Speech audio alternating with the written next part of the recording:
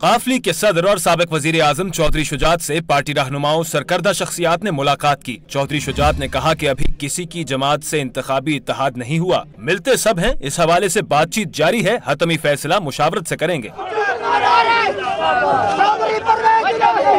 उधर सबक नायब वज़ीर आज़म काफली के मरकजी रहनुमा परवेज इलाही का मुल्तान पहुँचने आरोप कारकुनों ने शानदार इस्तकबाल किया।